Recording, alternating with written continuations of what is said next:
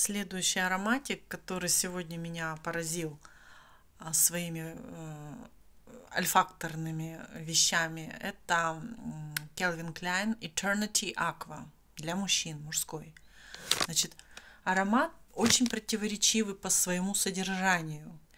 Он, конечно же, акватический и содержит свежую морскую воду, да, а, колотый лед, но все это а, не просто, как, например, Light Blue а, Dolce Gabbana, мужской вариант, там лед холодный, просто как бы даже соленый, вот. А в Келвине Кляйне э, акватический этот мэн, этот аромат при всей морской такой вот содержательности, он содержит какую-то сласть. Вот.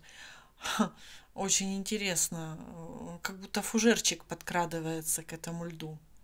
Можно подумать, что э, с одной стороны экспедиция на корабле наслаждается айсбергом и ледником, а с другой стороны тут же они соскучились по теплым водам Атлантики.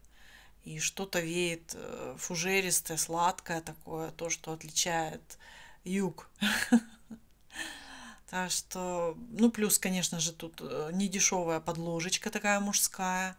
Э, здесь такие маселцы какие-то, ну, возможно, от животных что-то взято. Что-то даже мне немножко кокосом тут уже напахнуло по истечении двух часов. Маленько, как кокосовым маслом, что ли. А, вообще интересный аромат.